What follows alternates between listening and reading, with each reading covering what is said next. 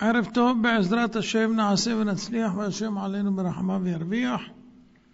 הערב הזה יהיה לרפואת הילד יאיר בן אלה איילה, שהשם יסיר ממנו את המחלה ויעתיק אותה לאויבי ישראל. הערב יהיה גם לעילוי נשמת הוריי המנוחים, אבי מורי יחיה זכריה בן עווד ואמי הורתי, רומיה בצלם, מנוחתם עדן.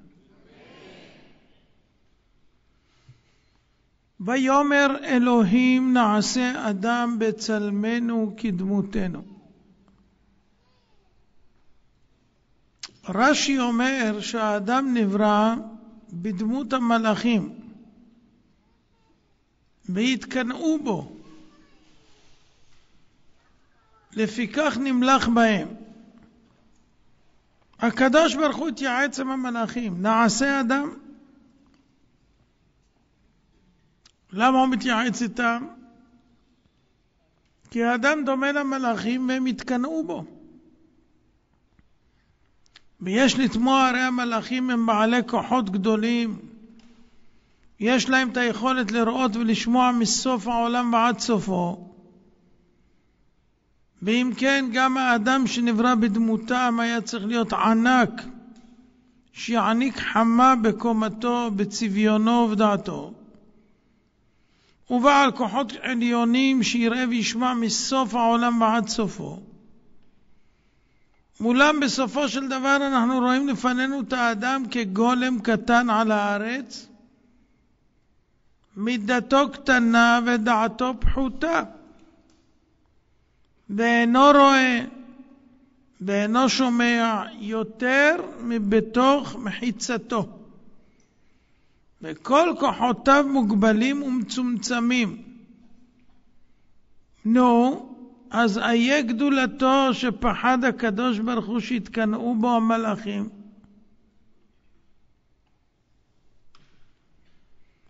לאמיתו של דבר, כוחות האדם מטבע תולדתו הם עליונים מאוד בדומה למלאכים ויותר מהם. חכמים זיכרונם לברכה אומרים בגמרא סנהדרין ל"ח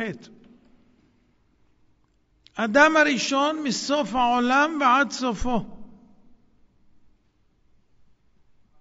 עד לרקיע היה. וכן חוכמתו ותבונתו הייתה עד להפליא.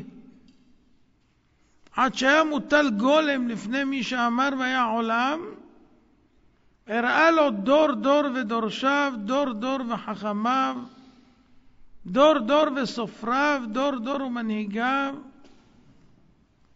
עוד בהיותו גולם מוטל על האדמה כבר הראה לו עד סוף כל הדורות מי יהיה ומה יהיה. והקדוש ברוך הוא התפאר בו לפני המלאכים ואמר להם חוכמתו מרובה משלכם. נו, אז למה אנחנו לא רואים את האדם בגדולתו זו? התשובה היא, בשעה שאדם חוטא, הוא מושך עליו מסך, הוא מסתיר את כוחותיו, המסך מסתיר את כוחותיו, עד שעיניו חדלות לראות כראוי. ואוזניו פוסקות מלשמוע כראוי.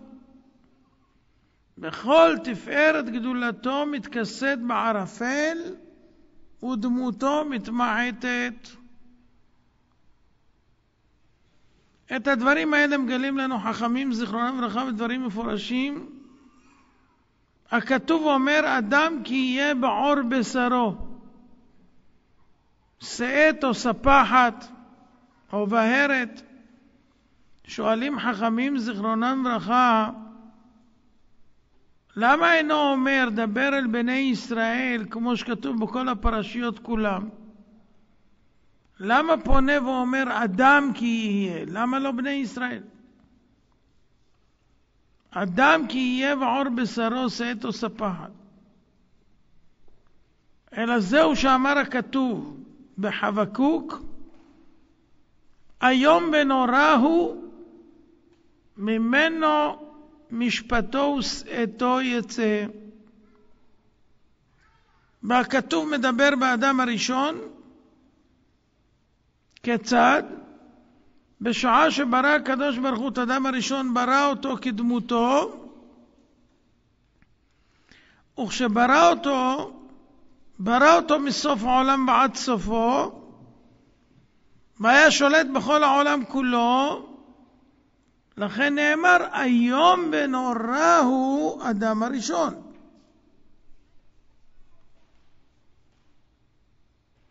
דבר אחר, איום ונורא הוא אדם שהוא שולט בכל מה שברא הקדוש ברוך הוא. כל מה שברא הקדוש ברוך הוא בעולמו, האדם שולט בו. ככתוב תמשילהו במעשה ידיך, כל שטה תחת רגליו.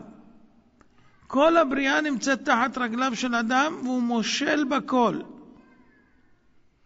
ממנו משפטו ושאתו יצא, בשעה שהוא חוטא, מביא עליו הקדוש ברוך הוא ייסורים מגופו. למה? שאין מידתו של הקדוש ברוך הוא כמידת בשר ודם. מידת בשר ודם, כשסרח עליו עבדו, מביא את הכבלים וכובלו. מביא אזיקים וכובל אותו. הקדוש ברוך הוא אינו עושה כן, אלא מגופו של אדם הוא רודה אותו, ומביא בו ייסורים, שנאמר, אדם כי יהיה ועור בשרו, שאת או ספחת וכולי. אז הקדוש ברוך הוא לא צריך לייסר את האדם מבחוץ. המעשים הלא טובים של האדם מביאים מגופו עצמו מחלות. אז מי גורם למחלות? האדם עצמו. מעשיו הם הגורמים לו.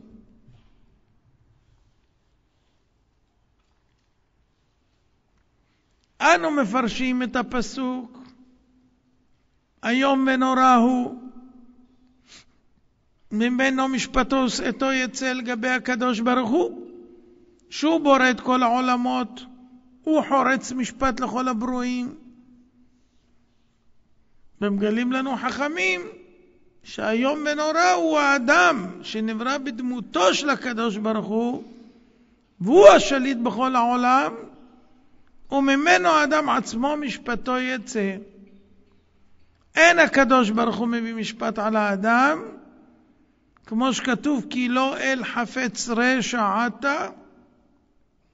הקדוש ברוך הוא לא חפץ לחייב שום בריה, אלא על ידי שאדם חוטא, בעצמו מוציא על עצמו משפט, וגורם ומביא נגעים בעור בשרו וייסורים בגופו, הוא מוריד את דמותו מגדולתו, כשהוא בעצם כדמותו של הקדוש ברוך הוא ושליט בכל מה שנברא בעולם, וגורם שעיניו תהיינה מכוסות, אוזניו תהיינה סתומות, הוא מקבל צורה כגולם קטן וחלש.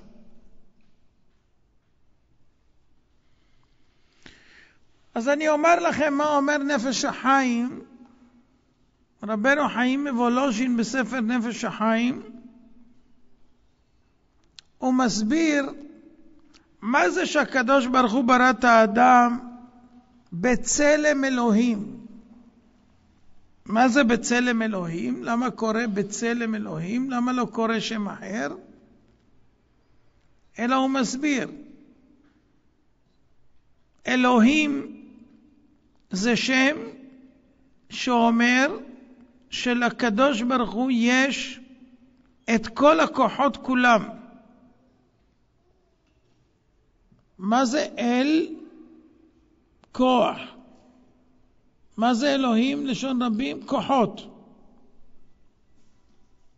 בראשית ברא אלוהים, בעל הכוחות כולם, את השמיים ואת הארץ, על כל מה שיש בהם. אין לאל ידו, אין לו כוח, אין לאל ידי, אין בכוחי. אל זה כוח. אלוהים זה לשון כוחות. הקדוש ברוך הוא ברא את האדם בצלם אלוהים. נתן לאדם כוחות בדומה לו. הקדוש ברוך הוא שולט בכל הכוחות הקיימים בעולם בכל רגע נתון, ואין כוח שפועל מבלעדיו, והקדוש ברוך הוא נתן לאדם כוח דומה. לכן נאמר שהאדם נברא בצלם אלוהים. מה פירוש? כל מחשבה, כל דיבור, כל מעשה של אדם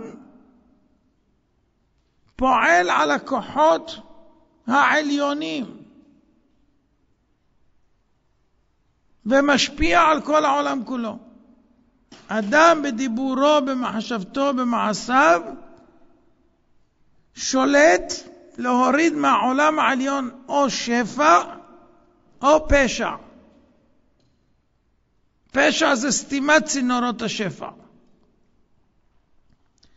יש כוח באדם להשפיע על העולם כולו, בין לטוב בין למוטב. זה הכוח שנתן הקדוש ברוך הוא באדם. וזה מה שאומר תמשילהו במעשה ידיך. כל, כל מה שנברא בעולם, שאתה שמת תחת רגליו. והאדם שולט בכל הבריאה. ואם אדם הוא שלם במידותיו, במעשיו ובחוכמתו, הוא באמת יכול לראות מסוף העולם ועד סופו גם בלי עיניים, והוא יכול לשמוע גם בלי אוזניים.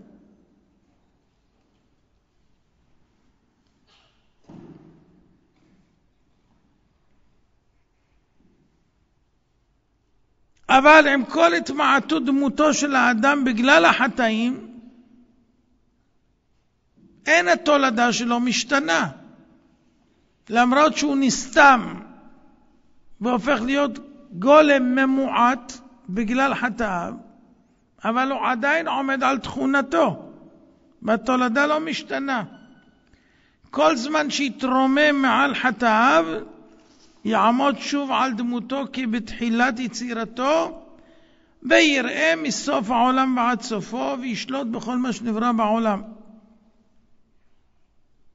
ואומנם במשך הדורות הגיעו אישים מסוימים למדרגות כאלה, שנפקחו עיניהם ואוזניהם וכוחותיהם התעלו למעלות עליונות, בדומה לבני אדם הקדמונים.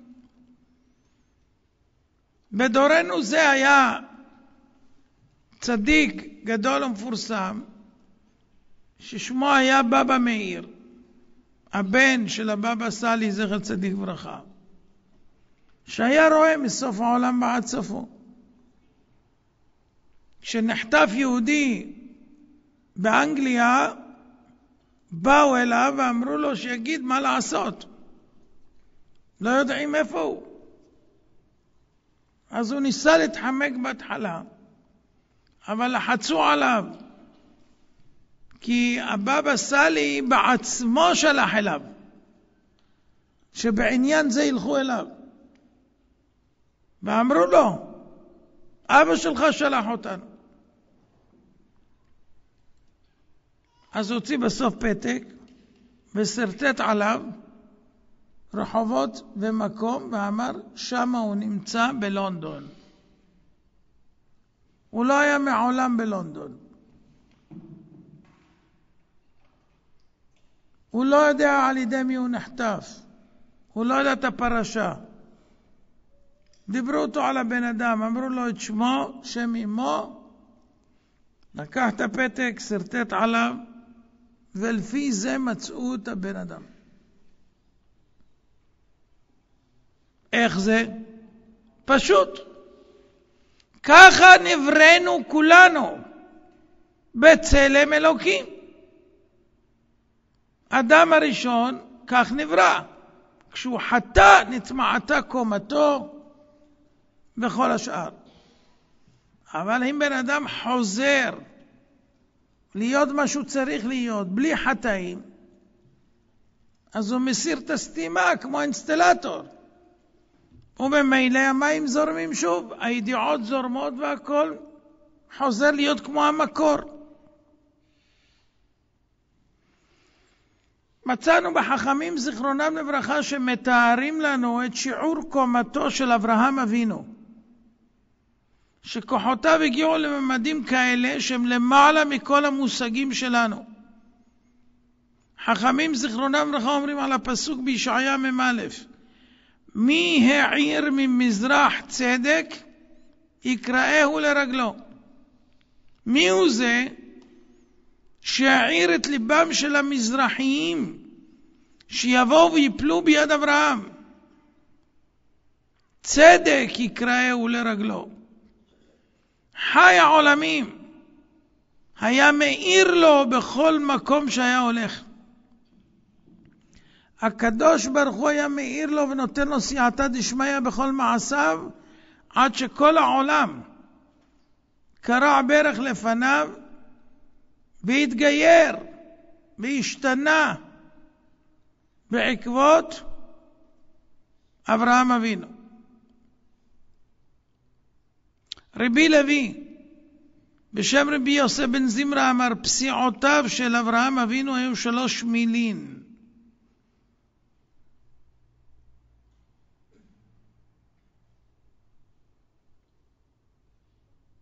רבי יוסף בר סיימון אמר, מיל, שנאמר אורח ברגליו, לא יבוא. רבי נחמיה אמר בשם רבי אבהו, לא נתאבקו רגליהם אלא כזה שהוא הולך מביתו לבית הכנסת. כל אחד נותן שיעור מה היה כוחו של אברהם אבינו, מה הייתה גבורתו. הרי לנו לאיזו מידה הגיעה גדולתו וגבורתו של אברהם, ולמה הוא הגיע לידי כך? משום שהוא התעלה במדרגתו ברוחניות מעל כל דורותיו. אברהם נולד בתנאים הכי לא נוחים, הכי לא נורמליים, הכי לא מאפשרים. אחרי שהוא נולד והצליח לאן שהוא הצליח, אין אחד מאיתנו שיכול להגיד שהוא לא יצליח. אברהם אבינו נולד בדורו של נמרוד, שמרד בקדוש ברוך הוא, ודור של עובדי עבודה זרה. גדל בבית של תרח, שהיה גם הוא עובד אלילים וספק גדול של עבודה זרה. והוא כבר בהיותו בן שלוש שנים הכיר את הבורא לבד. ולא עוד אלא שהכיר אותו מעצמו. כיוון שאבינו אברהם היה אומר, תאמר שהעולם הזה בלא מנהיג. איך יכול להיות שהעולם הזה בלי מנהיג? הוא לא הלך בשיטת הפיצוצים. הוא הבין פשוט מאוד. יש מנהיג לבירה, אי אפשר שבירה תהיה נוצצת ואין לה מנהיג. אי אפשר להיכנס לארמון ולהגיד שהוא נעשה לבד. אי אפשר להיכנס לעולם, לחיות בעולם, להגיד שהוא נעשה מפיצוץ. הוא ראה את השמש עולה. אמר אני אעבוד את השמש, כי כנראה זה הכוח השולט בעולם. אבל השמש שקעה והירח עלה. אמר אם זה נדחה מפני זה, אני אעבוד את זה. אחרי זה הוא ראה שהשמש שוב פעם עולה. אז הוא אמר אין שני מלכים משתמשים בכתר אחד. לא ייתכן ששניים מושלים בכיפה, יש ראש ממשלה אחד. אז אם שניהם כל אחד שר מפני חברו, אני אעבוד את זה שמי שמעליהם.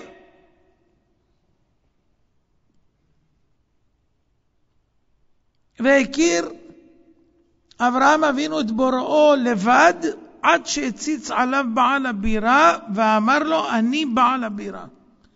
עד שדיבר הקדוש ברוך הוא אל אברהם אבינו בעצמו ואמר לו, לך לך מארצך ומולדך ומבית אביך אל הארץ אשר הרקע.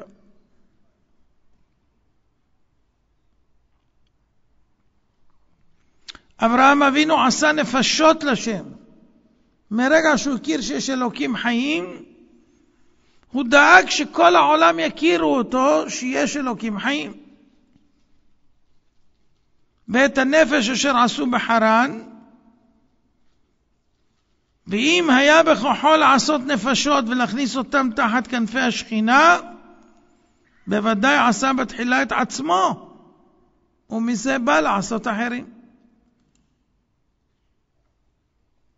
ולאחר שהגיע למדרגה כזו, אין פלא על גדולתו וגבורתו, כי מי שהעיר ממזרח להפיץ בעולם אמונה באל יחיד, כשכל העולם עובדי עבודה זרה, וצדק יקראהו לרגלו שהוא מכריז על הצדק בעולם, אדם כזה יש לו עיניים אחרות, אורות העולם מתגלים לפניו, יש לו רגליים אחרות, כל פסיעה שלו כמה מילין, כל הכוחות שלו אחרים המה.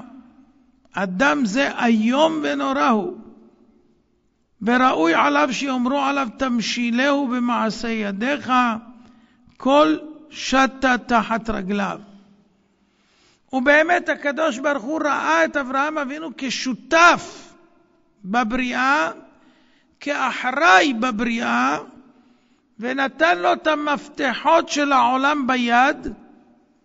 אמר לו, עד עתה אני הייתי מברך, מעתה אתה תהיה מקור הברכות.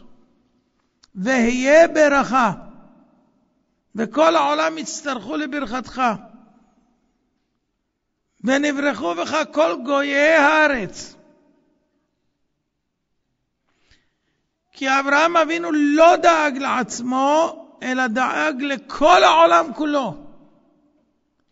זה הכוח שטמון בכל אחד מאיתנו, אם הוא רוצה לנצל את הכוחות שניתנו לו. אם הוא לא מזהה שיש בו כוחות כאלה, סימן שהוא גולם, סתום באטום, בגלל חטאים. אם היה מסיר מעל עצמו את מסווה החטאים האלה שכיסוהו, היה מתגלה לפניו כוח עצום שטמון בו.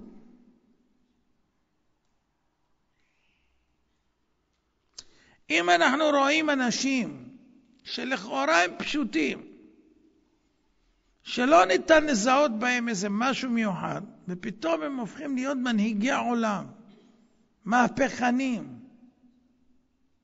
מה זה? בני אדם רגילים, לכאורה. ופתאום הם יכולים להשתלט על עולם שלם. ולאו דווקא אנשים טובים, בפרט הרשעים. נו, אז איך זה יכול להיות? כי יש כוח באדם. רק חלק לוקחים את זה לצד הטוב, וחלק לוקחים את זה לצד הרע, אבל לאדם יש כוח עצום. לאדם יש כוח עצום. כל אדם. אין בן אדם שיכול לומר, אני לא, אני נבראתי חלשלוש. אני, אין לי יכולות, אין לי כוחות. אין דבר כזה. כי כל אדם נברא בצלם אלוהים, וכל אחד קיבל כוחות אדירים. אבל בשביל לנצל את הכוחות האלה צריך להסיר את החטאים והעבירות שהם מסמאים את עיניו וסותמים את אוזניו.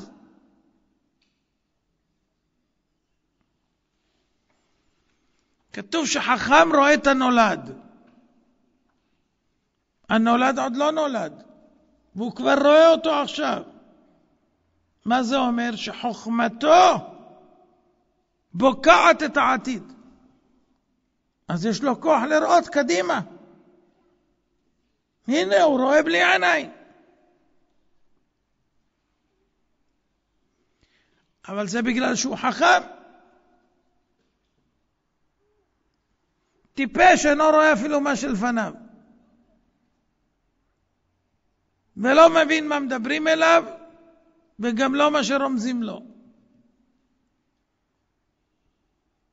לכן כתוב די לחכימה ברמיזה ולשוטיה בחורמזה.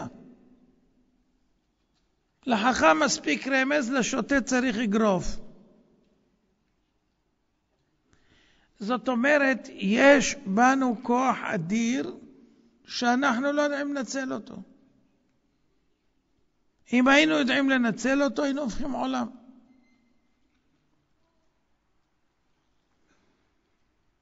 נו, אבל אם יש כבר חכם, ואחרים הם לא כאלה חכמים, מהסיבות שמנינו, אבל לפחות שיהיה להם שכל לסייע לחכם להוציא לפועל את כוחותיו, בשביל שיוכל להיטיב לכולם. אבל גם זה אין להם שכל.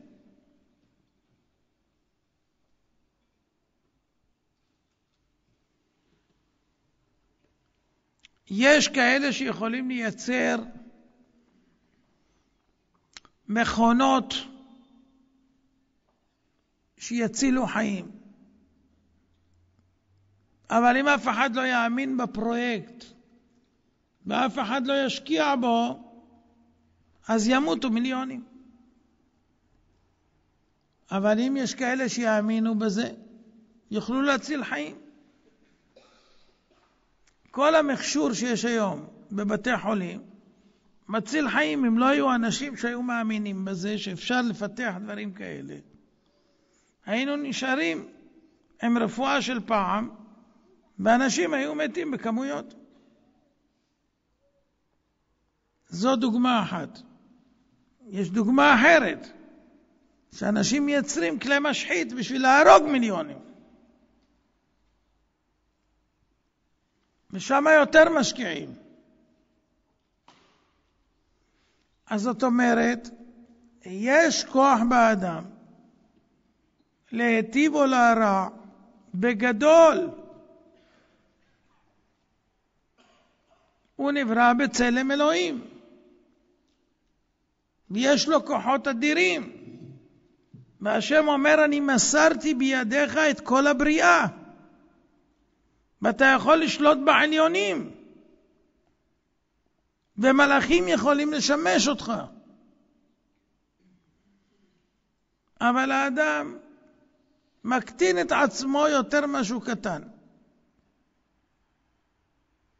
כי הוא לא יודע את ערכו בכלל. באחת הדרשות השבוע דיברנו. דרך אגב, יש שידורים ישירים כל בוקר ואחר הצהריים באתר שופר.tv.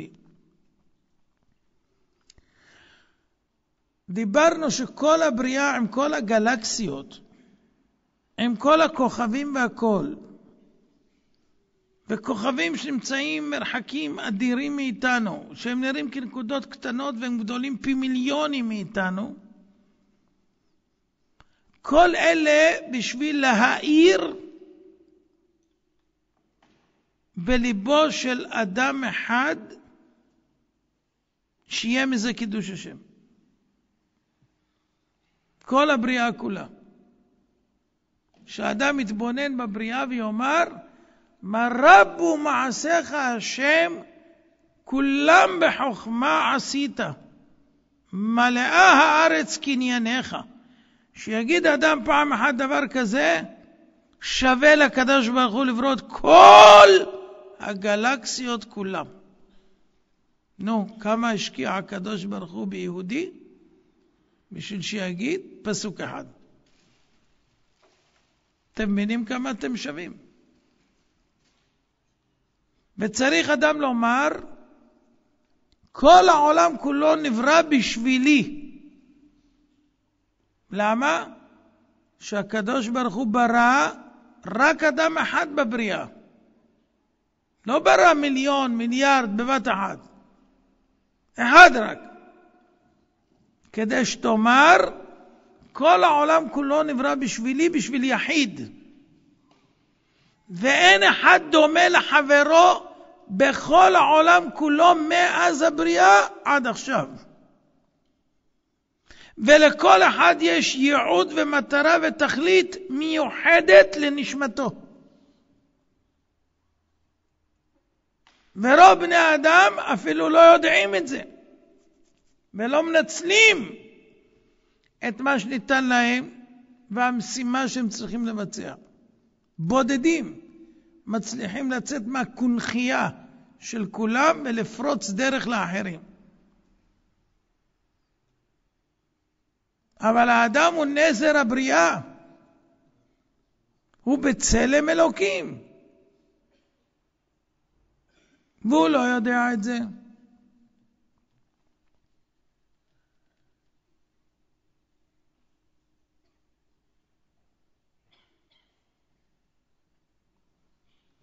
השבוע דיברנו על איזה נקודה, אני לא אגיד את הנקודה, אני אגיד את הסיפור שהיה מאחורי הנקודה.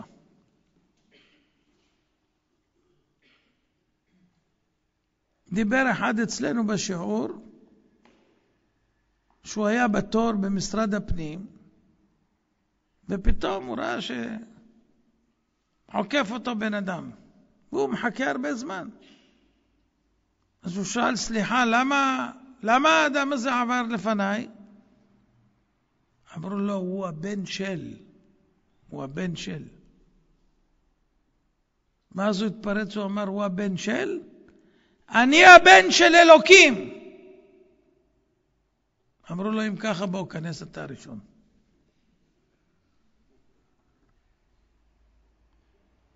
אתם יודעים שאתם הבן של אלוקים? אתם לא זוכרים את זה. כשאתם הולכים ברחוב, אתם זוכרים שאתם הבן של אלוקים? כתוב בתורה, בנים אתם לשם אלוקיכם. אז מי הולך ברחוב? הבן של אלוקים. אתה בכלל חושב את זה? חשבת פעם? ידעת בכלל שאתה הבן שלו? לא סתם אה, כתוב בפסוק. אתה הבן הייצוגי של הקדוש ברוך הוא בעולם. וייתם לי סגולה מכל העמים. וייתם לי קדושים. ממלכת כהנים, גוי קדוש, בנים אתם, ישראל אשר בך אתפאר, אומר הקדוש ברוך הוא, אני מתפאר בך. במה? שאתה גורנישט mit גורנישט. שאתה לא יודע אפילו שאתה הבן שלי. אדם הולך בעולם ולא יודע מי הוא בכלל. והוא לא יודע מה הכוחות שלו.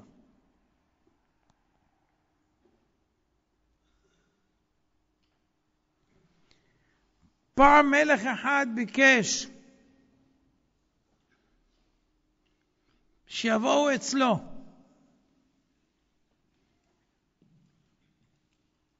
ומה שיבקשו ייתן.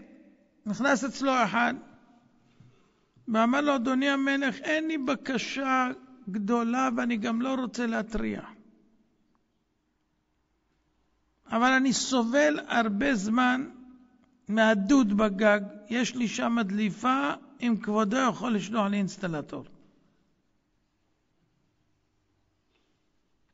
הוא נמצא כבר אצל המלך ומדבר שטויות. במקום להגיד למלך, אני רוצה להיות קרוב אליך,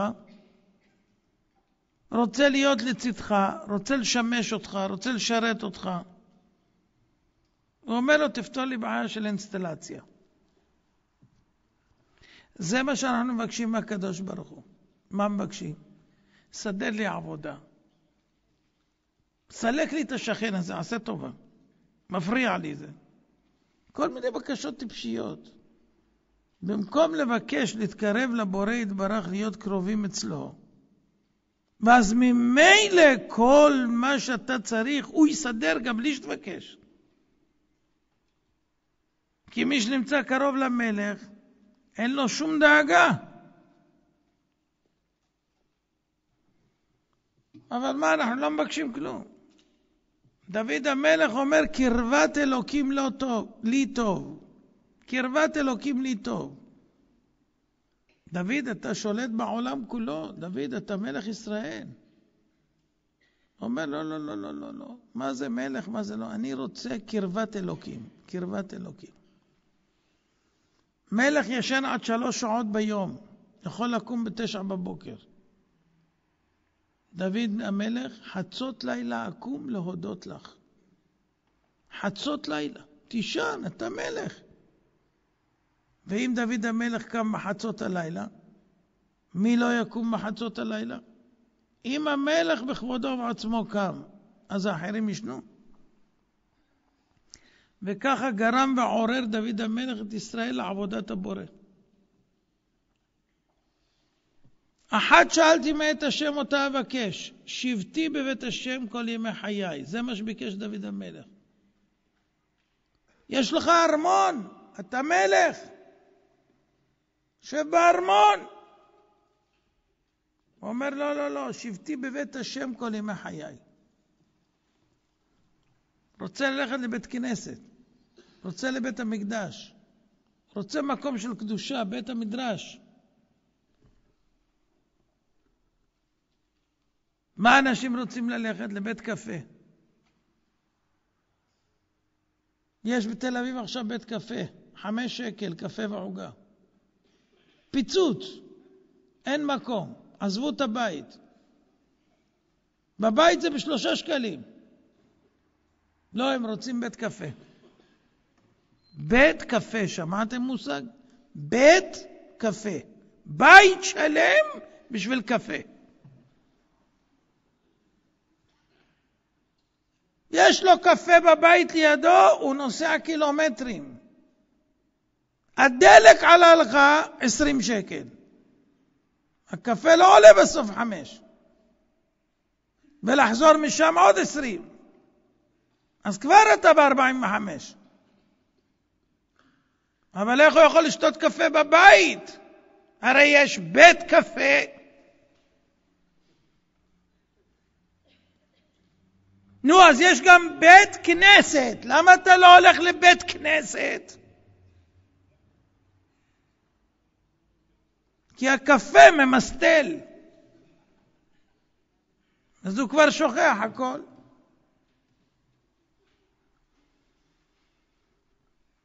יהודים יקרים, אנחנו לא יודעים את ערכנו. הן עם לבדד ישכון ובגויים לא יתחשב. ההיסטוריה חוזרת. אתם רואים, ביבי היה היום, דיבר, ואמר, אם ישראל תצטרך לעמוד לבד, אז היא תעמוד לבד. מה זה אם היא תצטרך לעמוד לבד? מה זה חדש לך שהיא עומדת לבד? עד היום היית פתי שמישהו יעזור לך? אתה לא רואה שהוא במבה? רק מבטיח דברים ולא מקיים אף פעם? ובמבה הזה מזגזג יותר מברק. גם לא קוראים ברק.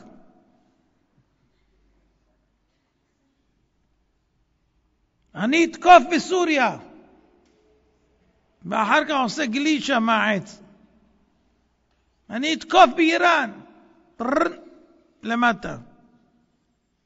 ברח מאפגניסטן, ברח מעיראק.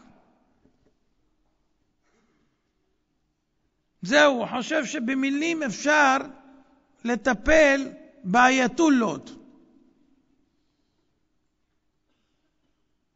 נראה בחור אינטליגנט, אבל לא למד היסטוריה. הם אומרים מפורש שהם רוצים להשמיד את ישראל. אז מה הם מתכוונים, הוא חושב? עם מילים? אז בשביל מה הם בונים כורים אטומיים, כורים גרעיניים מתחת לאדמה 60-80 מטר? למה? כי זה לצורכי חשמל. הבנתם? חשמל לנמלים, לחולדות. עושים להם חשמל למטה.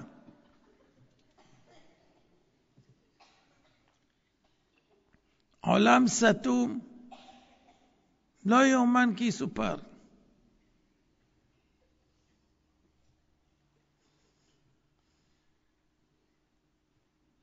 אבל טוב, זאת נחלתנו. אנחנו נמצאים בעולם כזה, ג'ונגל כזה.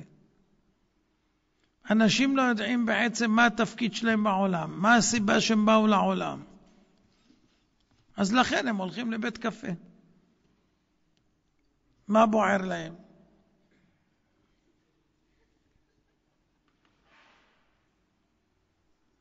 אבל מי שיש בו רוח אלוקים עדיין, והוא מבין מה אני אמרתי פה, שמה שאמרתי זה מה שהפסוק אומר, נעשה אדם בצלמנו, כדמותנו. בורא עולם אומר למלאכים. נו, אז מי שרוצה לנצל את הפוטנציאל שלו, הוא מוזמן. אין בעיה. אתה לא צריך לעשות שום דבר מיוחד. רק תפסיק לעשות עוונות וחטאים, תתחיל לעשות את מה שהתורה אומרת, ותראה איך אתה יוצא לאט לאט לאורה. תראה איך פתאום תפקחנה עיניך ותראה את העולם באור נכון. זה כמו בן אדם שכלוא בבית הסורים. ובבית האסורים, מה הוא רואה כל הזמן? את אותם אנשים בתוך סורגים, ויש לו טיפה קצת חופש, איזה חצר שנותנים לו להסתובב שם, והוא חוזר בחזרה לחדר שלו. בשבילו כל העולם זה שם. אמנם הוא שמע שיש עולם בחוץ, הוא גם היה פעם שם. אבל הוא כבר לא זוכר את זה, כי הוא חי את החיים שלו כאן.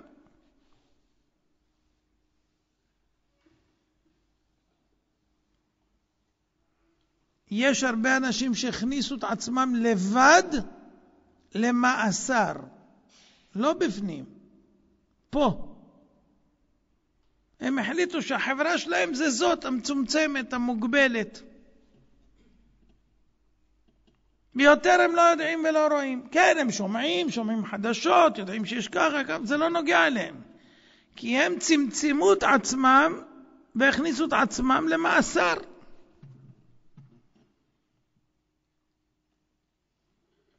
אבל אם בן אדם יושב ולומד תורה, המרחבים שלו הם אינסופיים. מהאדם הראשון עד סוף הדורות, הוא שוחה בכל העולמות. הוא יכול ללמוד מה יש בעליונים ומה יש בתחתונים, הכל. והוא יכול לראות מסוף העולם ועד סופו, ויכול לשמוע בלי אוזניים.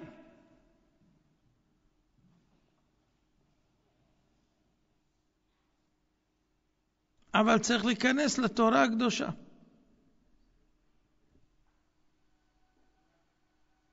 התורה זה לא איזה ספר הוראות, זה תורת חיים.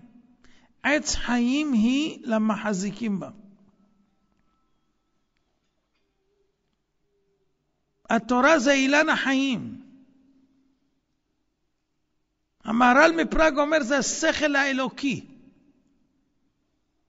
הקדוש ברוך הוא נתן לנו כלים מתוך התורה לדעת ולהכיר הכל בכל העולמות.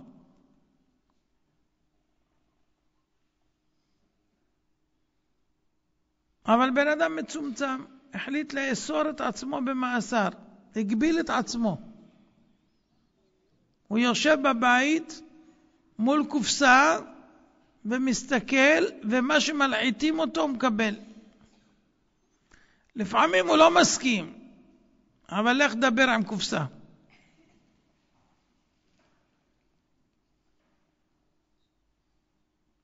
אבל יותר ממה שהוא לא מסכים, בינתיים הוא מקבל, כי אין לו ברירה. יש עוד פרשן ועוד פרשן, ועוד כתב ועוד כתב. וככה תופסים לו את כל החיים. ולבן אדם אין את הזמן לדעת בכלל שהוא הבן של הקדוש ברוך הוא. ומה הוא נהיה? ככל גויי הארצות. למה? כי הוא הולך במנהג אותם.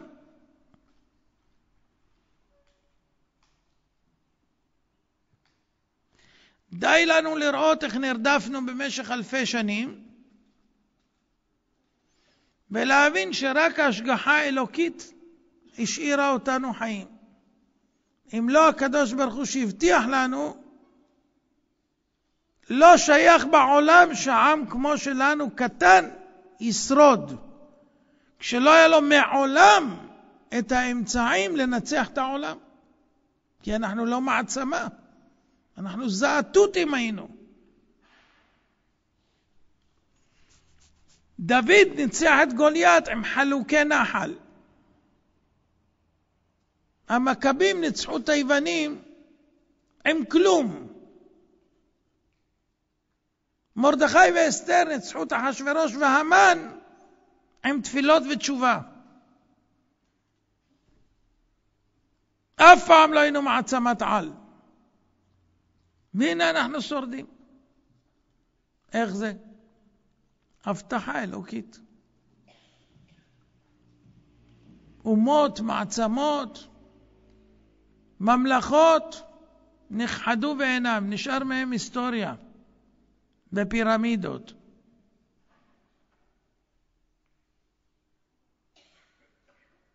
עולם של טמבלים. עושים פירמידה. למה עושים פירמידות? כל אבן שם צריכים מאות אנשים היו להרים אותה. מיליונים עבדו להקים את הפירמידות. למה יש פירמידות, אתם יודעים? כי קבור שם איזה פרעוש אחד. פרעון אחד. הוא החליט שכשהוא ימות יעשו לו קבר גדול. פירמידה.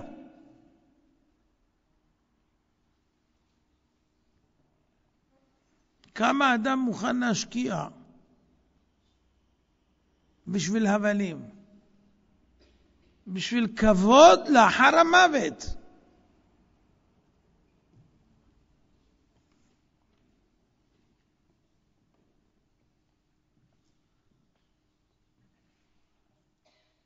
ודאגו הפרעונים לחנות את המתים, שיישארו אותו דבר. נו, ומה זה עוזר? מה הוא חשב? שיבואו אחרי אלפיים, שלושת אלפים שנה יגידו לו, פרעון, גום, גום.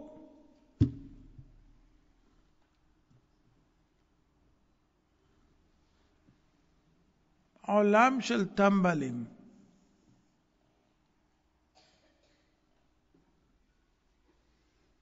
בן אדם צריך להבין מה התכלית שלו, למה הוא בא לעולם. אתה עוד מעט הולך, עוד לא הגעת, אתה כבר צריך ללכת. אז מה אתה עושה פה? מה המטרה שאנחנו הגענו לכאן? צריך להספיק, יש פה אוצרות, אוצרות בלומים שאפשר לקחת אותנו לחיי נצח. כל הקניינים והנכסים הגשמיים יישארו לאחרים. כל הרוחניות שתיקח מפה, עם הכלים האלה הגשמיים, יישארו לך לנצח.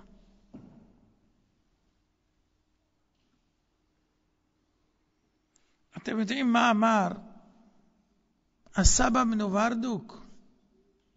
הוא אמר דבר מדהים. הוא אמר שמה שאדם משקיע בשביל חיי משפחתו במשך חייו, יכול היה להקים מאה ישיבות.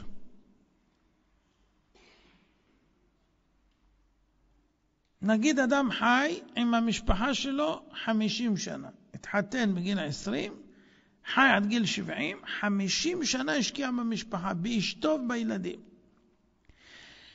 כל הכוחות שהוא השקיע במשפחה בחמישים שנה, אם היה משתמש באותם כוחות, היה יכול להקים מאה ישיבות שיכילו אלפי ועשרות אלפי תלמידים שהם יהיו לו לנצח נצחים ללא הפסקה.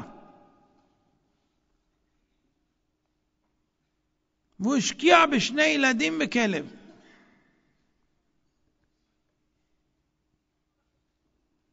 ואמרתי שהוא צודק, ואני יכול להוכיח את זה.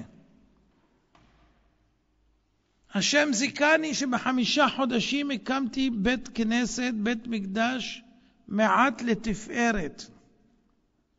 בחמישה חודשים. עם מתנדבים יהודים, מתנדבים, כל בעלי המקצועות בהתנדבות, בחמישה חודשים. אז אם ככה בשנה אפשר לעשות שניים, בחמישים שנה, מאה. צודק הסבא מנוברדוק. צודק הסבא מנוברדוק. אתם רואים כמה כוח יש לבן אדם? אם הוא יודע לנצל את הפוטנציאל שיש לו, אין גבול למה שאדם יכול לעשות. עכשיו אני לא צריך להקים יותר, אתם רואים את זה על המסך, אני לא צריך להקים יותר. עכשיו אני אלמד את כולם איך לעשות כמוני. וכולם יכולים להקים. ועכשיו בראש העין הולכים להקים גם כן למאות אנשים. קהילות פז. אז זאת אומרת, אדם ינצל את הזמן שנתנו לו, כי הזמן זה האוצר הבלום. אין דבר יותר יקר לאדם מזמן שנתנו לו. אדם לוקח חיים וזורק לפח. אין לו מה לעשות, כי הוא לא יודע מה עושים עם זמן. אם הוא כבר עושה טובה, הולך להתפלל שלוש תפילות, ואולי יש לו איזה שיעור, הוא כבר חושב שהוא ניצל את החיים. החיים ניצלו אותך, אתה לא ניצלת כלום. יש לך 24 שעות ביממה, זה 86,400 רגעים שאתה יכול לעשות בהם אין סוף דברים. בן אדם לא יודע לנצל את הזמן. סתום וחתום.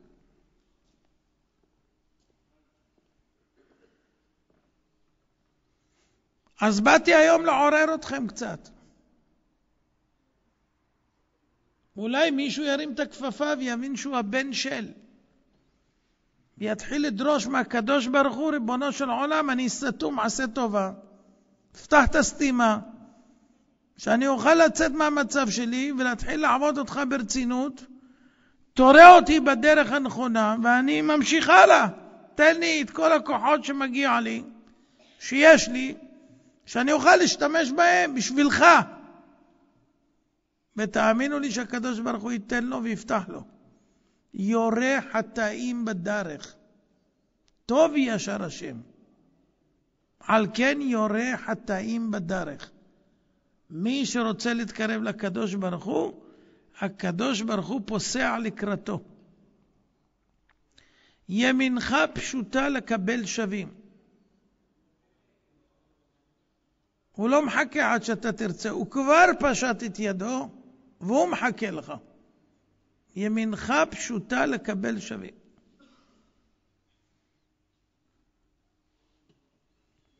אז רבותיי, יש לכם הזדמנות. נהריה, נהר של הקדוש ברוך הוא. אפשר לעשות פה מהפכה גדולה. אני זוכר את נהריה מלפני שלושים שנה כשבאתי להרצאה, היו רק חילונים. לא היה דתי. נהריה הייתה חילונית לגמרי. ונהיו קצת בעלי תשובה ועוד קצת ועוד קצת, אבל הקצב איטי. קצב איטי. כל אחד מכם יכול להיות מהפכן ולהפוך את הסביבה שלו. את המעגל הקרוב, את המעגל היותר רחוק, ולאט לאט ככה להגדיל. אם הוא יהיה אכפתי וירצה לחקות את אבא שלו, אברהם אבינו. אם הוא יהיה אכפתי. אם הוא לא יהיה אכפתי, אז נהריה תישאר ככה עוד הרבה זמן. וחבל. יש פה אנשים טובים מאוד. ואני חושב שבנהריה הרבה פחות מקולקלים מתל אביב. אז זה סיבה לעבודה עם הצלחות. אבל צריכים אנשים עם אמביציה. אנשים שמעוניינים לשנות, שמוכנים לעזור, שמוכנים לתמוך, שמוכנים לשנות. אם יש כאלה, אפשר לעשות מהפך גדול. הקדוש ברוך הוא ישמח מאוד וייתן את כל הכלים בשביל שזה יתבצע. אבל צריכים להחליט שרוצים. אז קודם כל שאדם יחליט שהוא רוצה, וממילא יקבל גם את הסיוע לעשות לאחרים. למי שיש שאלות, בבקשה. ברוך אתה אדוני, אלוהינו, מלך העולם, שהכל נהיה בדברו.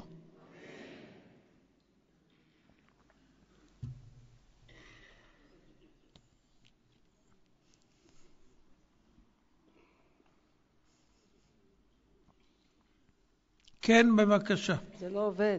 עובד, עובד. ערב טוב, הרב. ערב טוב. רציתי לשאול איך אדם יודע מה הייעוד שלו. אדם צריך לראות לאן ליבו נוטה. יש אנשים שאוהבים חסד, יש אנשים אוהבים צדקה, יש אנשים אוהבים ללמוד. כל אחד מרגיש מה, מה הנטייה שלו. כשאני מדבר נטייה, אני מדבר על נטיות חיוביות. אבל יש גם נטיות שליליות. וכשלאדם יש נטיות שליליות, אז זה הנקודות החזקות שהוא צריך לעבוד בהן, בשביל לתקן אותן. אבל אין בן אדם שאין לו נטיות חיוביות. והוא צריך לזרום עם היכולת והכוח שיש לו לכיוונים האלה ולפתח אותם. ממילא הקדוש ברוך הוא ייתן לו סייעתא דשמיא, וזה ימשיך לאין שיעור. אני לא תכננתי להחזיר אנשים בתשובה.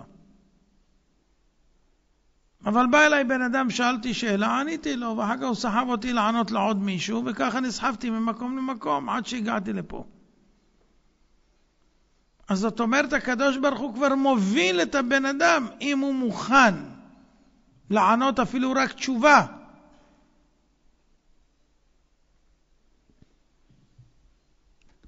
מה אם מישהו עושה כבר דברי חסד אולי ודברים אחרים והוא מרגיש שהוא לא עושה מספיק והוא לא, והוא לא הגיע לייעוד שלו? נו, הוא יגדיל הלאה.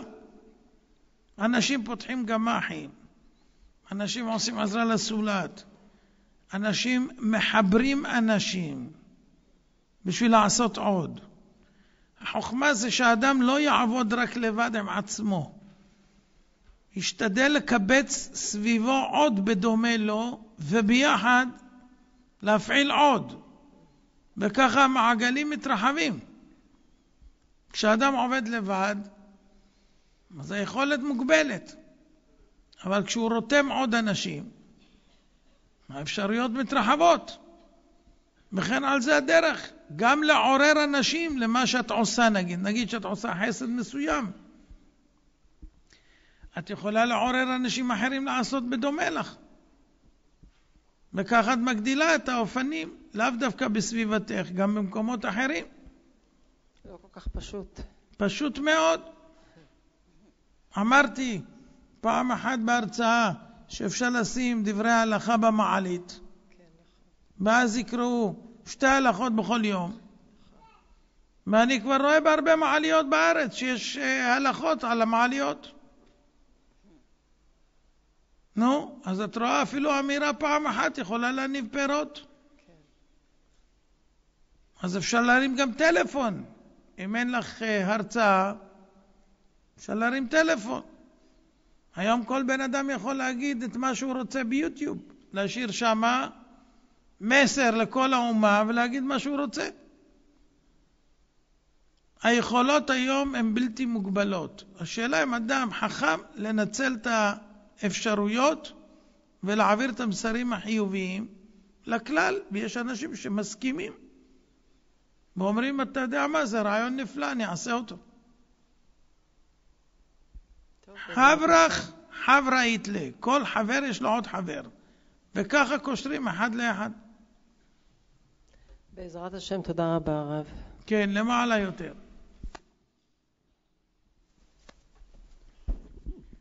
כבוד הרב שלום, לפני שלושה חודשים ככה נתבשרנו בבשורה ששינתה לנו את החיים מקצה לקצה. הבן שלי בן השש לקה במחלת הסרטן. התגלה אצלו גידול ממאיר במוח, בגזע המוח. לא ניתן לעשות הרבה, אי אפשר לנתח, אי אפשר לעשות טיפולים כימותרפיים, הדבר היחידי שהיה אפשר לעשות זה הקרנות, וזה מה שעשינו 27 הקרנות ברצף, כל יום נסענו איתו לרמב"ם. בעקבות הטיפולים הוא עלה 15 קילו. אמ, כרגע הוא במצב מאוד מאוד קשה, הוא מאבד את שיווי המשקל, הוא נופל.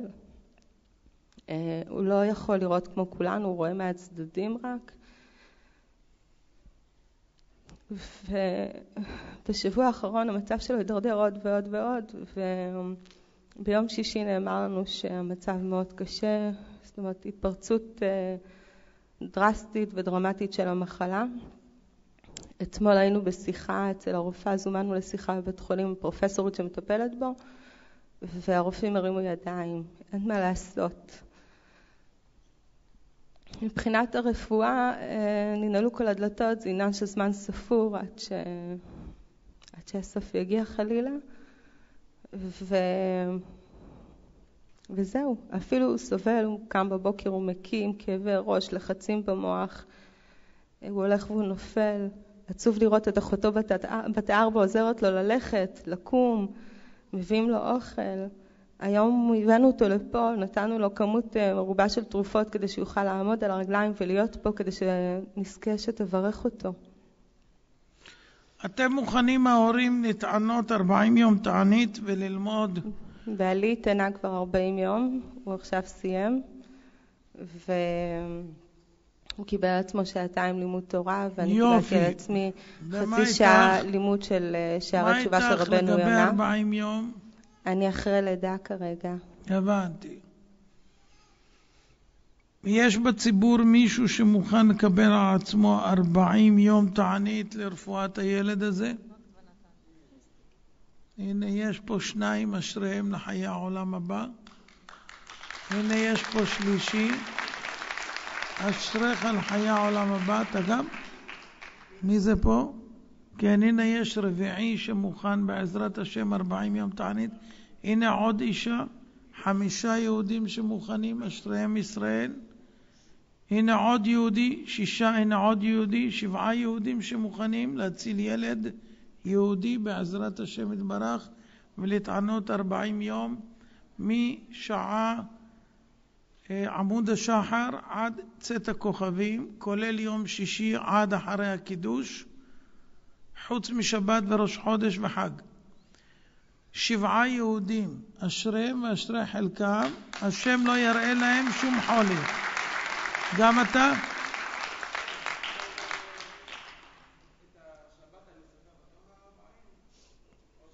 לא, לא, ארבעים יום, ארבעים יום שמתענים. שמיני, יש שמונה יהודים. ספרתי, שבעה יהודים. יש עוד אחד, הנה שמונה יהודים, אשריהם ישראל. אשריך, תשעה יהודים. אני רק רוצה להגיד לכם, המנוח רבי יעקב חי יוסף, כשלקה במחלה בלבלב, נתנו לו הרופאים שלושה חודשים. והייתי אצלו בבית כנסת וביקשתי מהציבור שלו שיקבלו עליהם תענית 40 יום. 55 איש קיבלו, והוא האריך ימים עוד שנתיים. עוד שנתיים ימים, שהספיק להעביר כל כך הרבה שיעורי תורה וכל כך הרבה מצוות, והיה אומר לי, אני חי בזכות הברכות שלך. אפשר לפעמים להפך גזרה אם היא לא גזרה בדם, אפשר להפך אותה. תראו את הסרט נס מצולם, תראו את ניסים התותח ועוד כאלה, יש אפשרות. ובפרט שיהודים אכפת להם. זה מעורר רחמים גדולים בשמיים. תשעה יהודים שמקבלים עליהם תענית ארבעים. הנה עוד גברת שמה, אשרייך עשר. והנה עוד אחד, אחד עשרה. אשריכם ישראל. הנה עוד יהודי, שתים עשרה. היהודי פה ליד המצלמה, היהודי פה ליד המצלמה, אתם יודעים מה? אני אראה לכם את הסרט, תכף. כן, 12 יש עוד שרוצים? אז לפני שאני אברך אני אראה לכם את הסרט. הנה 13, אשריך ואשרי חלקך. אני אראה לכם את הסרט כבוד ואחרי זה... הרב, אפשר לפני כן להכניס את הילד שתברך אותו? כי הוא קצת מותש. כן. אתה הכנת? תכין רק.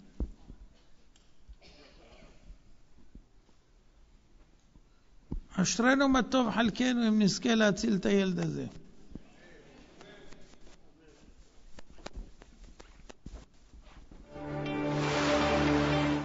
זה לא, שתבינו, אנחנו לא מצילים את הילד. בשמיים אנחנו מבטלים גזרות גדולות מאוד על עם ישראל.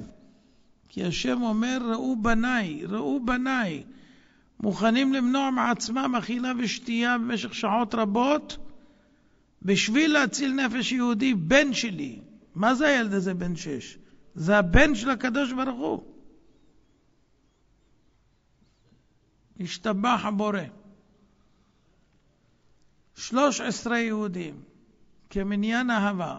הנה עוד יהודי. אתה גם או לדבר? מה? כן, תאמר. תן לו מיקרופון. זה האחיין שלו והוא רוצה להגיד כמה מילים. תן לו מיקרופון.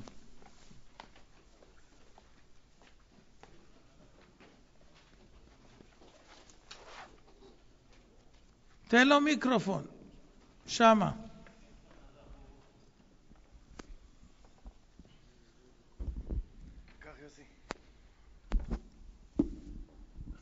ערב טוב הרב. ערב טוב. קשה לי להתבטאות. אני רק רוצה לדעת דבר אחד, שאנחנו כבר 17 שנה בתשובה, ובתקופה האחרונה יש הרבה גזרות. ילד בן שש, מה חטא בעולם, שצריך לקבל את המכה הזאת? גלגול קודם.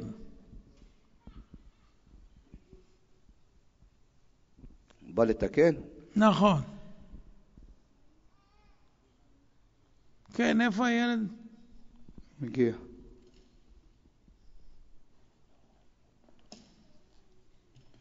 בוא מותק, בוא.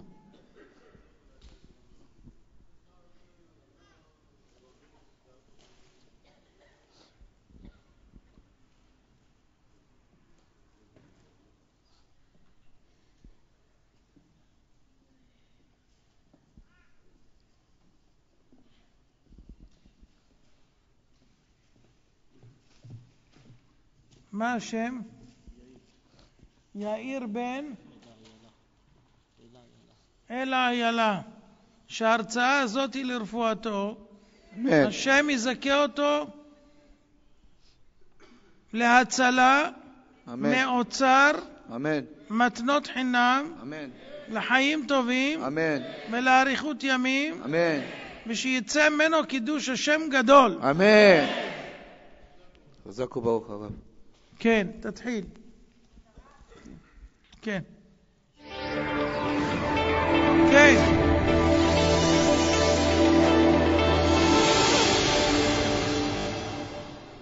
כבה את האור.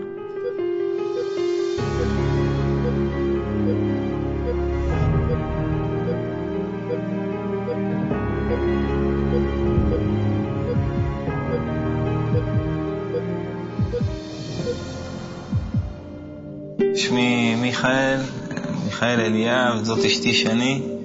אנחנו בני 27, התחלנו להתחזק אה, לפני בערך אה, כשלוש שנים בזכות הדיסקים של הרב אמנון וההרצאות שלו, הרב אמנון יצחק. אנחנו רוצים לספר לכם על הנס שקרה לנו על הבוקר, נס שאין כמוהו, תחיית המתים ממש.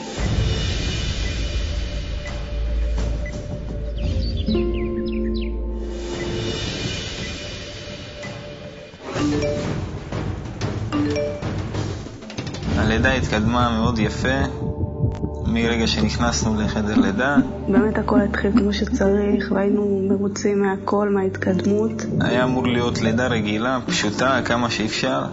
עד שזה התחיל להסתבך עם זה שבמי שפיר היו מים קוניאליים, שזה נכנס לריאות של התינוק.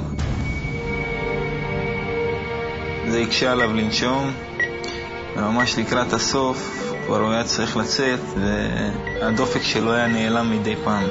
זה היה בלחץ, והרבה עזרה מהרופאים, ואני התאמצתי כמה שיכולתי. התחילו לעשות לידה כמה שיותר מהר, לדחוף שהתינוק יצא, שזה לא יפגע לו בדופק. בשלב מסוים נעלם הדופק והוא הפסיק לנשום.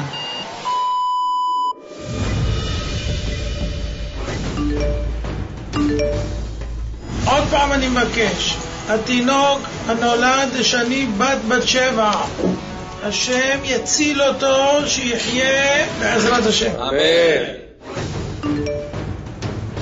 הלידה נתקעה, לא היה כבר צירים שיכולים לעזור לדחוף, רק כוח מה שאשתי הייתה יכולה לעשות. בגלל שהזמן היה מאוד קצר, כי הילד כבר לא נשם, אז הביאו דחוף ואקום בשביל לשאוב אותו משם כמה שיותר מהר.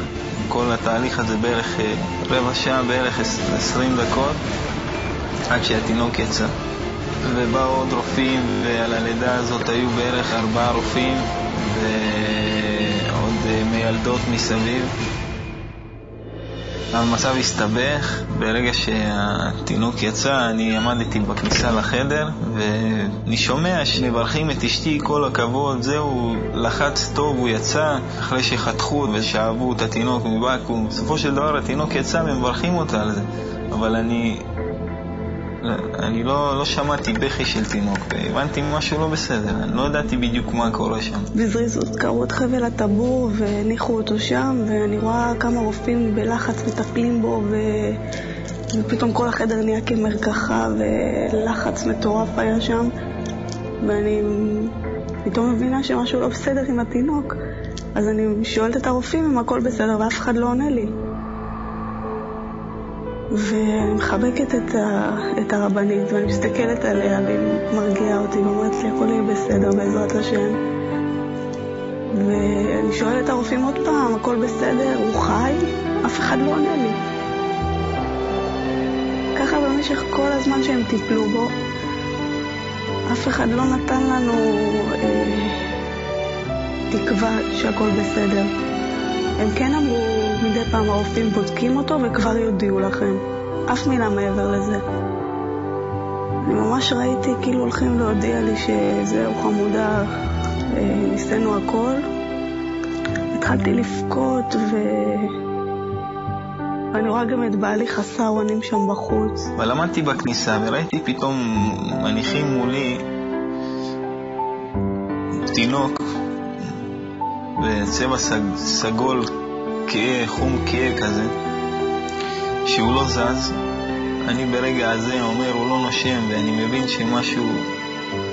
באותו שנייה חשבתי חרב עולמי, אני יצאתי שתי צעדים מחוץ לחדר, פתאום התחלתי לא להרגיש את הגוף מרוב, כאילו ידעתי מה, מה קרה, והבנתי באותו רגע.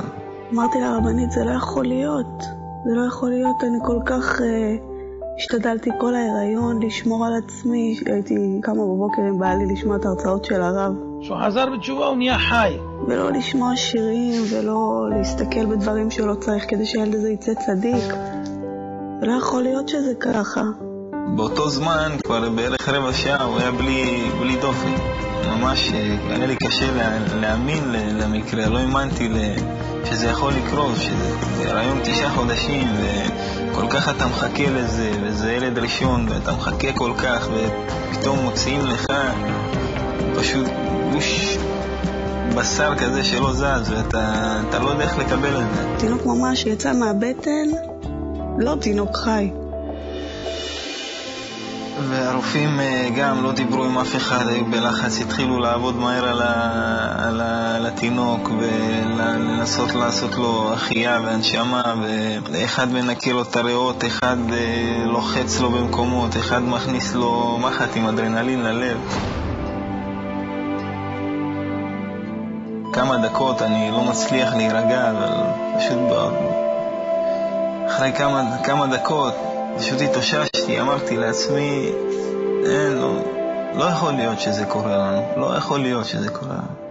והתחלתי לפתוח בהשם, אמרתי, אין, הקדוש ברוך הוא, אני יודע שהכל יהיה בסדר, אין דבר כזה, זה רק מהרב, מהשיעורים בבוקר, של אמונה וביטחון, שפעמיים למדנו את השער הזה עם הרב, וזה חיזק אותי, וזה נתן לי כוח, לא רק בזה, לדברים אחרים גם הרבה, אני ראיתי הרבה ניסים ונפלאות, זה שינה לי את החיים, האמונה הזאת ושאר הביטחון הזה, זה שינה לי את החיים. מא' עד ופה זה היה הניסיון הכי גדול שלי, ואני לא אשקר, לא עמדתי פה במיליון אחוז, אבל כשאמרתי את זה וכשאימנתי את זה, ואני הולך במסדרון הלוך קדימה, אחורה, קדימה, אחורה, ואני אומר, הקדוש ברוך הוא, אני מאמין בך, אני יודע שהכל יהיה בסדר.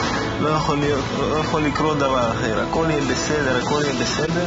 נכנסתי לחדר אשתי וצעקתי לה, אל תדאגי, הכל יהיה בסדר, הוא מחיה מתים, הוא מחיה מתים, אמרתי לה, אל תדאגי, הכל יהיה בסדר. אמרתי לעצמי, אני אקבל כיסוי ראש, ו- ובעלי בא לידי ואומר לי, אני מקבל על עצמי גם ללמוד שש שעות, ואני מבקשת מהרבנית שתתקשר לרב ותגיד לו, אולי הרב יכול לברך אותנו, הברכה שלו תמיד עוזרת. אנחנו אין לנו מספיק זכויות שאלוקים יעשה לנו כאלה ניסים. אולי בזכות הרב אלוקים יעשה לנו פה איזה נס.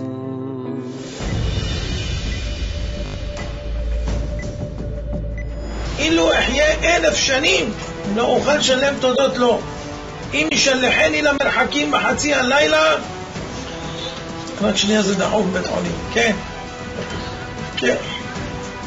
כן. טוב, מה קורה שם? וכרגע מה מנסים לעשות? בסדר, אני לוקח בעזרת השם תענית 40 יום להצלתו בעזרת השם יתברך. בסדר. מי שרוצה, הילד יצא בלי דופק, תינוק שנולד.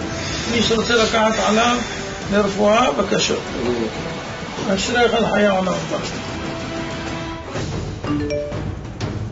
אשתו של, של הרב הייתה, הייתה ליד אשתי, הייתה עוזרת לו, והיא שלחה לו הודעה, והרב קיבל על עצמו באותו רגע 40 יום תענית, ועוד שני אנשים קיבלו על, על עצמם שם אה, לידו, ואני אמרתי להשם, השם, אני מקבל על עצמי שש שעות ביום לימוד תורה, ועוד 40 יום תענית גם, אחרי ששמעתי שהרב קיבל, גם אני 40 יום קיבלתי.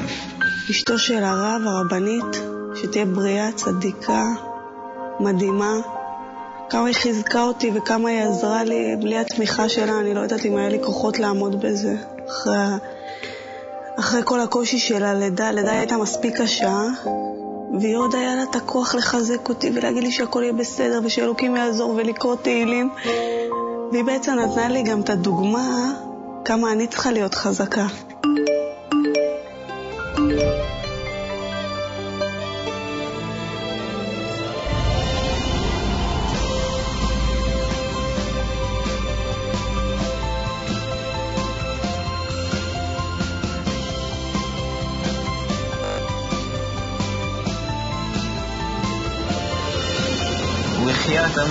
מחייה, מחיית הבן שלנו, והרופאים אה, הצליחו להזהיר את הדופק שלו. אחרי בערך 20 דקות אני שמעתי ככה המוניטור פתאום מתחיל לצפצף לעניין ולא צפצוף אחד שלם. אחר כך בעלי בא ואומר לי, ממי, בסדר, הכל בסדר, יש לו דופק, הוא נושם, הכל בסדר, תרגי, שמעתי אותו בוכה.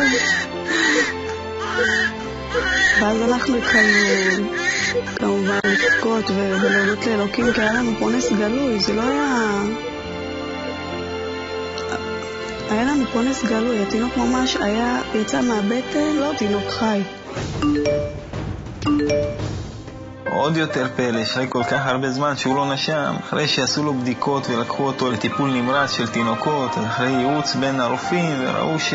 שהוא לא צריך טיפול מיוחד, שהוא הכל בסדר, רק צריך השגחה קצת יותר רצינית, אבל uh, הוא יהיה בסדר, ואין לו שום פגיעה, לא במוח, שבמצבים כאלה, בגלל שלא מגיע חמצן למוח, אז uh, יכול לפגוע, במיוחד אצל תינוק. ברוך השם, לא נפגע לו שום דבר, והוא זז, והוא, והוא בוכה כמו שצריך, ברוך השם. אין, שבח לאל, שבח לאל. הקדוש ברוך הוא הכין אותנו הרבה הרבה זמן למקרה הזה, לניסיון הזה.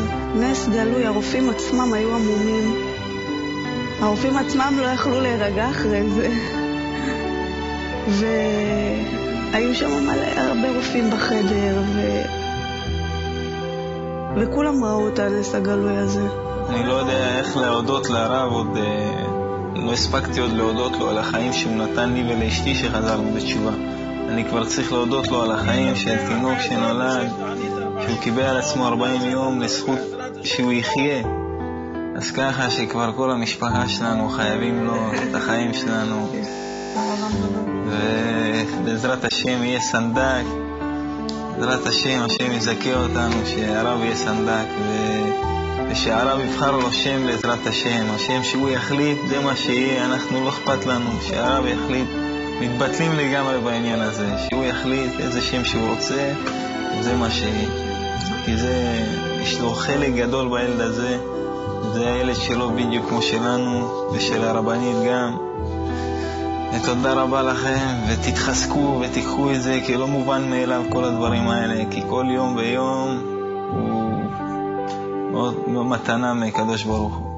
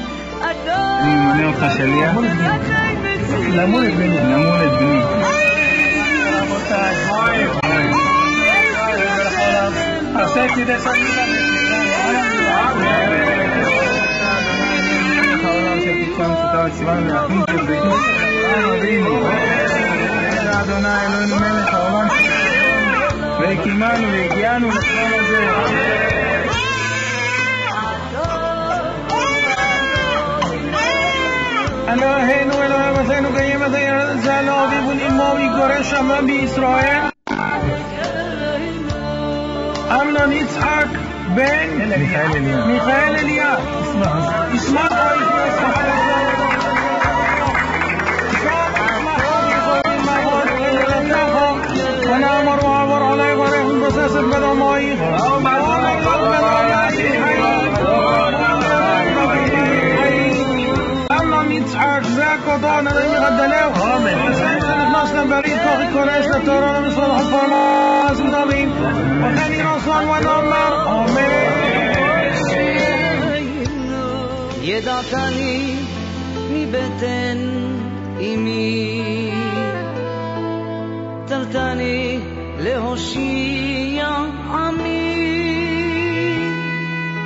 נתת לי לשון לימודים. זה היום הכי מאושר בחיים שלי.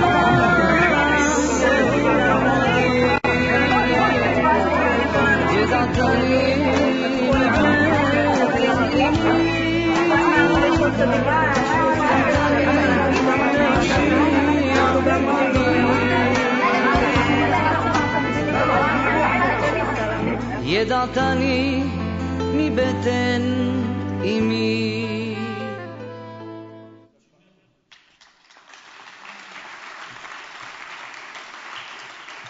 תודה. קיבלתי אס.אם.אס עכשיו, עוד יהודייה יסמין מהרצליה מקבלת על עצמה 40 יום תענית.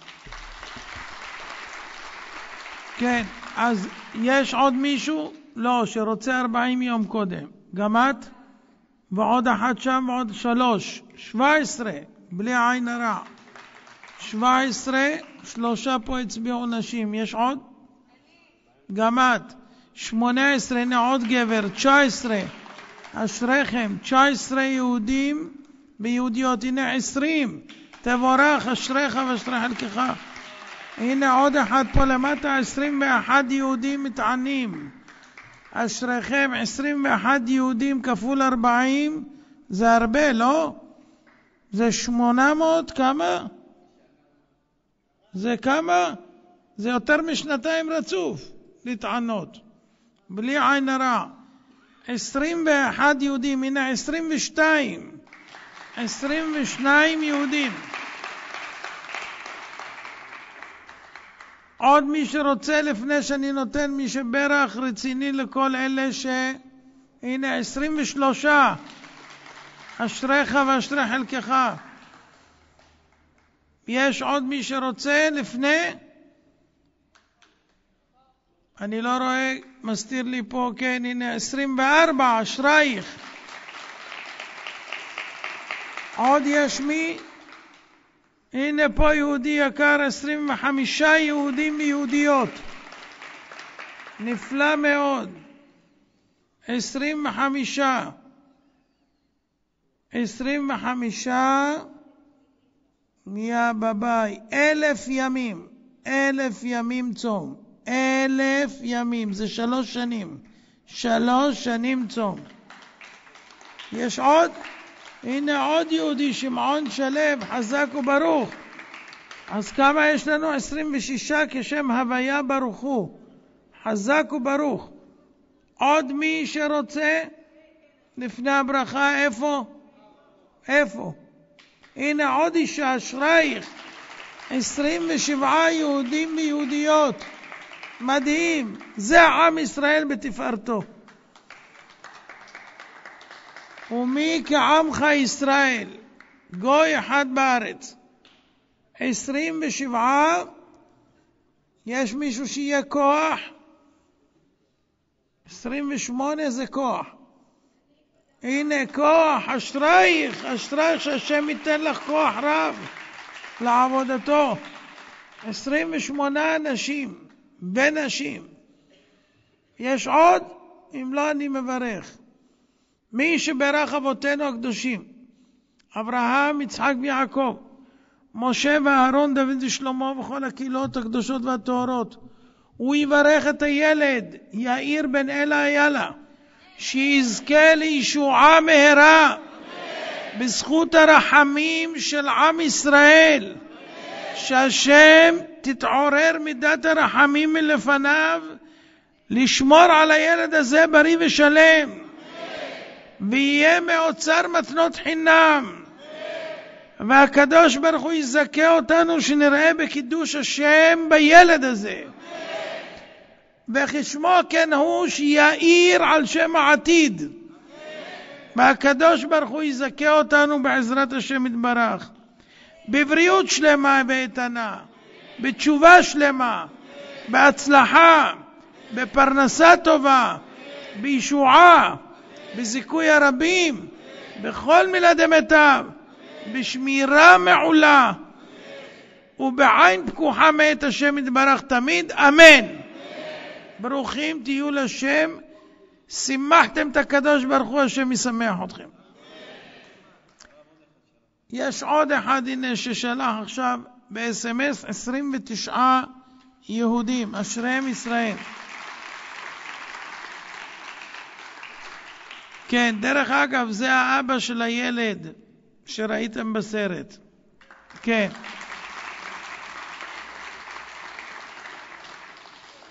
כן, שאלה נוספת אם יש.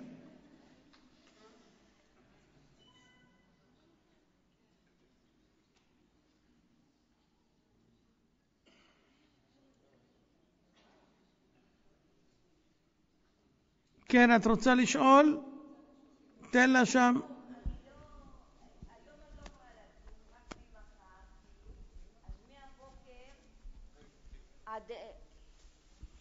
מהבוקר, מעמוד השחר, כן, עד צאת הכוכבים. אוקיי.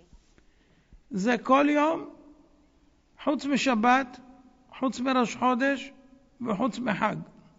אוקיי.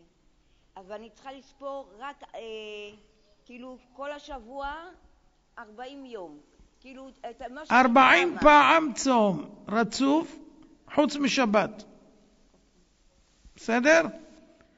עכשיו, מומלץ לכל אחד בתפילת מנחה מחר לומר לפני יולי רצון האחרון שאומרים בתפילת שמונה עשרה, הרי אני מקבל על עצמי בלא נדר 40 יום תענית לרפואת יאיר בן אלה איילה, גם אם לא תזכרו את השם, אז תתכוונו בשביל הילד שקיבלנו עבורו, ואם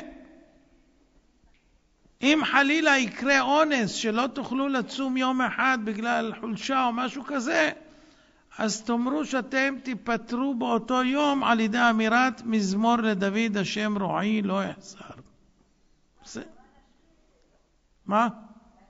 נכון, חייבים להשלים. בן אלה איילה. רבותיי, עשינו את זה מספר פעמים, זה קל מאוד. קל מאוד. מרגישים כיף אמיתי, קל יותר. לא משועבדים לאוכל ולא צריך לנסוע לבית קפה בחמש שקל. כן, עוד שאלה למי יש? הנה שם הגברת רוצה.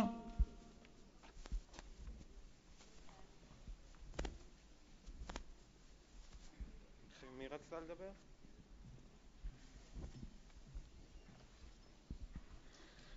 כן, שלום, ערב טוב, רב. ערב טוב. אה, אני רוצה לשאול אם אני יכולה לצום במקום אבא שלי, כי הוא חולה והוא לא יכול לעשות את הצום הזה.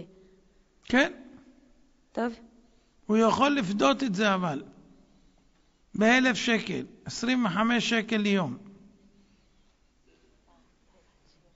בסדר? אשריך. קודם כל קפצת העיקר, רוצה לעזור ליהודי. אשריך. הוא לא יכול. השם יזכה אותך אמן, שאתה תצליח בהשתלה. אמן, שכל המתפלל על חברו נענה תחילה. אמן. ברוך תהיה. אתם רואים יהודי שזקוק להשתלה, ישר קפץ שהוא רוצה לצום 40 יום. השתבח הבורא. כן. מי עוד? רוצה לשאול? יש עוד מישהו? כן, שם הגברת. ערב טוב, כבוד הרב. ערב אני טוב. רציתי לשאול את כבודו, אה, מה קורה עם כל ה... איך להתמודד עם כל הקשיים בדרך, ב... אם זה בדרך להתחזקות ואם זה בקשיים בפרנסה, שאני מניחה לעצמי שאני לא היחידה בעולם שסובלת מכך, בטח יש עוד הרבה. אני יכול להרגיע אותך ואחרים, הייתי עני מרוד במשך שבע שנים, שהייתי חי רק על פת לחם. וזו הייתה התקופה הכי יפה שהייתה לי.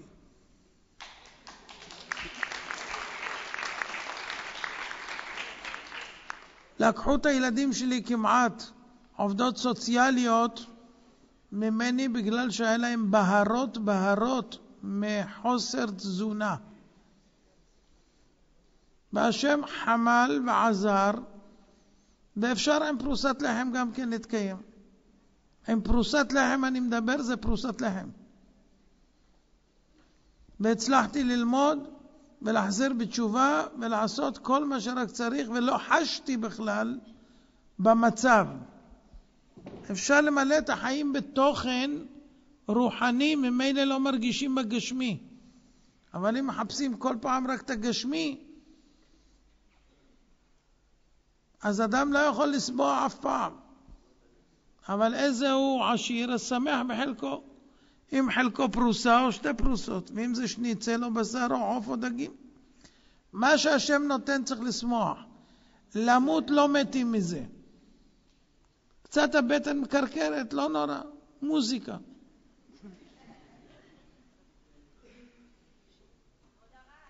כן.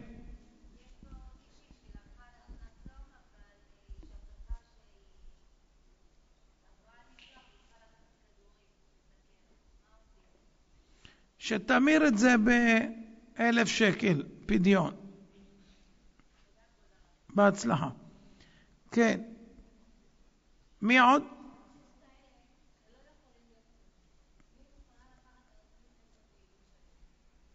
יפה מאוד, הנה יהודייה שלוקחת עליה ללמוד, לקרוא ספר תהילים שלם. פה רוצה לשאול שאלה, שורה ראשונה.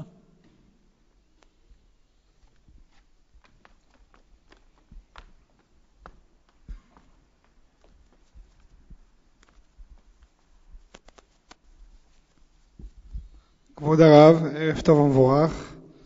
תבורך מפי עליון. אמן. רציתי לשאול שאלה מאוד מאוד חשובה.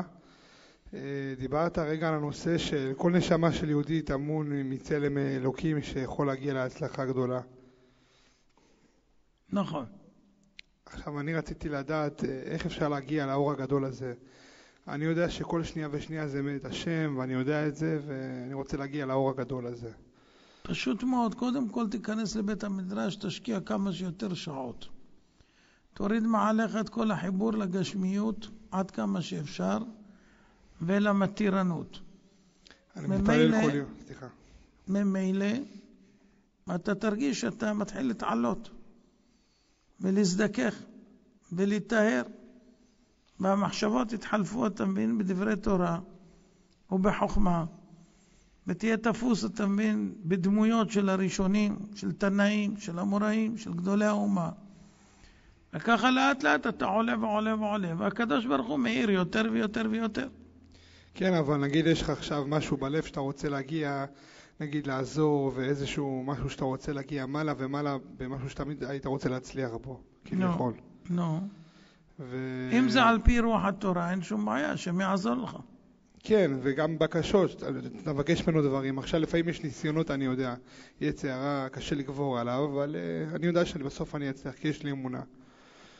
אמרתי, בית המדרש זה המחסה הכי גדול, נכון. הכי טוב, שם מתעלים הכי מהר, ולהיות טרוד באמת בלימוד. כן. אבל תקשיב, יש איזה משהו שאמרו לי פעם, שאם אלוקים יכול להפוך מחושך לאור, אז הוא יכול להפוך את החיים של כל אחד ואחד מאיתנו מכאב וסבל לברכה ולאור גדול ועצום. נכון. ואני יודע שהוא מסוגל לזה. אז אני אומר לעצמי כל הזמן, לא משנה, אסור להתייאש, גם אם נפלת, לקום. ואני יודע שיום יבוא, ובסוף כל אחד ואחד מאיתנו יצליח להגיע לאן שהוא רוצה להגיע, העיקר אם הוא מאמין, והוא יעשה את כל המצוות של הקדוש ברוך הוא.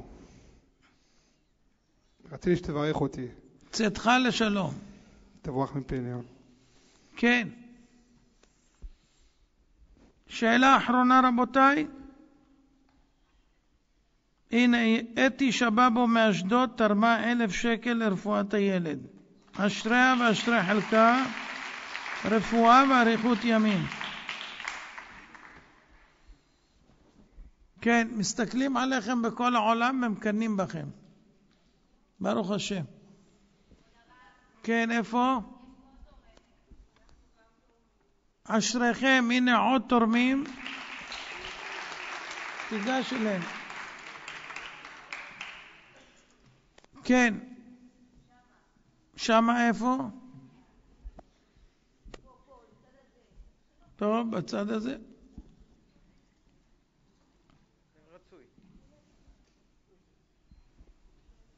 כבוד הרב, רציתי לדעת אם אפשר לקחת אה, למען אה, רפואת הילד תפילת ערבית כל יום. כן, ודאי, כל מה שתיקחו בתורה ומצוות יועיל ודאי ויצטרף לזכויות החסרות כדי להשלים. כמה? אשריך. לוקח על עצמו משניות. כן, שם בפינה היהודי הזה.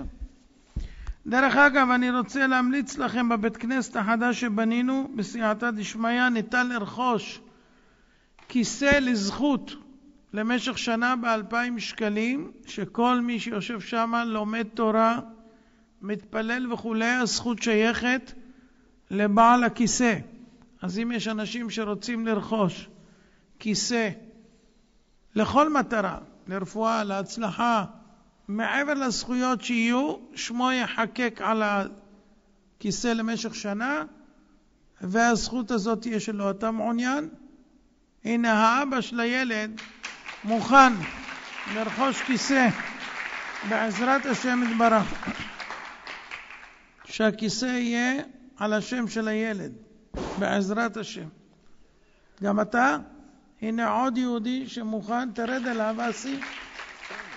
תן להם הוראות קבע, תיקח את הפרטים או אשראי למי שרוצה. כן, אתה רצית לשאול. כן, הרב, יש לי שאלה אליך. אה, לגבי, רשום שהחודש הראשון לפי התורה זה חודש ניסן, ומה שיוצא לפי ראש השנה זה חודש תשרה, ורשום שתחילת שנה זה מחודש תשרה. אז איך זה מסתדר עם אה, חודש ניסן?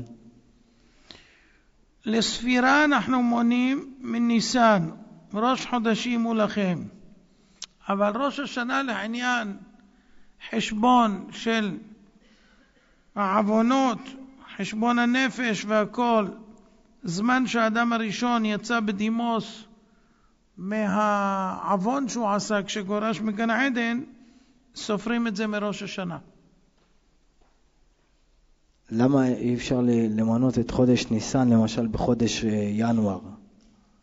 לא מעניין אותי החודשים הנוצריים, אבל בראש השנה ממש אדם הראשון חטא, גורש מגן עדן ועשה תשובה. אז לכן ראש השנה ניתן כראש חודש הראשון שבו התכפרו עוונותיו של היהודי. ומתי מתחילה השנה? איזה שנה לפי מה? לפי העברי. לפי העברי אנחנו אומרים שראש השנה, נגיד תשי"ד, מתחיל בראש השנה בתשרי. תודה. תהיה בריא. תודה. כן, אז יש עוד מישהו שרוצה גם כן לרכוש כיסא, יכול להצטרף, ואלה שירצו עוד בהמשך לקחת על עצמם תעניות יבורכו, לא צריך להודיע לנו, זה כבר, ברוך השם, מתוסף. כן, הרבנית, בבקשה. אני לא שומע. רוצה ל... מה לתרום?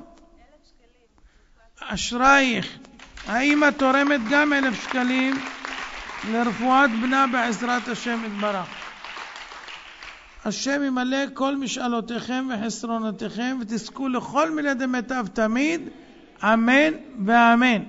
רבי חנניה בן עקשיא אומר, רצה הקדוש ברוך הוא לזכות את ישראל, לפיכך הרבה להם תורה ומצוות.